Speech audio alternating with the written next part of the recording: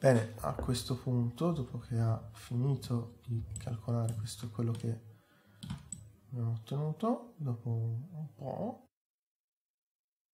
ricordatevi che qui, prima di calcolare, di mettere reset to initial state, mettere anche yes initial state, make initial state, e in automatico verrà creata qui, hanno creati qui due file dentro la cartella initial state di progetto quindi state e vdb una volta che l'avrà creato clicchiamo su possiamo togliere anche il lucchetto clicchiamo su reset to initial state. E questo è lo stato iniziale dal quale partiremo per fare la nostra simulazione. Ok? La mia simulazione facciamo un piccolo recap. Abbiamo qui edit curve ecco, sulla speed che è leggermente diverso, parte da 0,5, poi al frame 24 0,75, 0,2 e 0,5. Lo stesso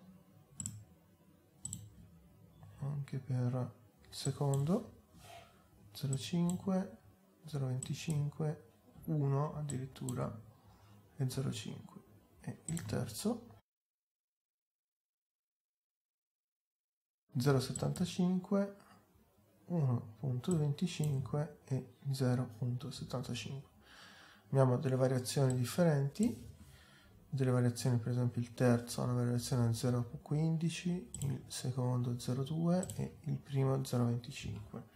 La posizione, ora io li ho nascosti per vederli, ovviamente poi la mesh mi va a restituire questi, per quello magari conviene utilizzare già delle forme che sono compresi o comunque cercare di, nasconderli, di metterli più vicino possibile alla superficie.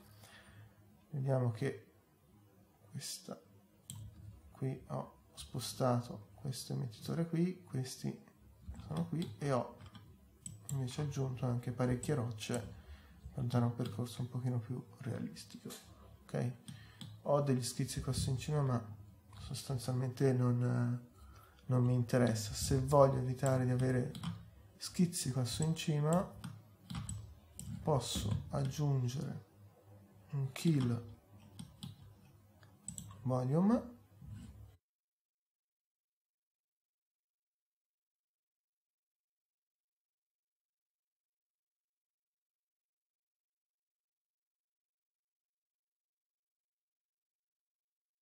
e mi vado a creare una safe area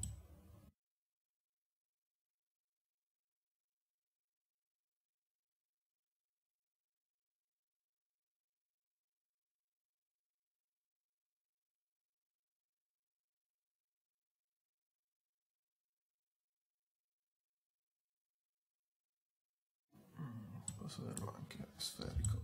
In questo caso sferico forse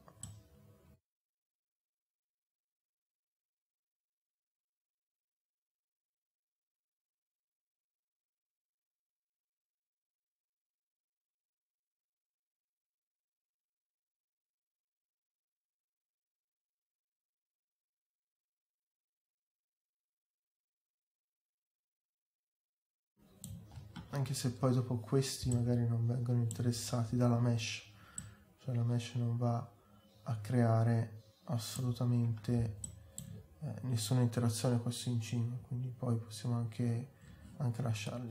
L'aspetto importante è magari questo kill lo mettiamo soltanto al domain in questo modo, ok? Questo solo per sicurezza. E a questo punto ovviamente mettiamo invertito inverso così sarà qui valido qui tutto quello che va dentro sarà ucciso ok? Andiamo a nascondere salviamo e a questo punto con una risoluzione di 0.025 il command line non va a utilizzare l'inizio state quindi dobbiamo assolutamente in questo caso andare a disabilitare il command line e calcolarlo senza il command line. Quindi blocchiamo la viewport. Salvataggio sarà più lungo il calcolo. Diciamo che però a noi magari ci interessano solo 96 frame sarebbero 4 secondi di animazione.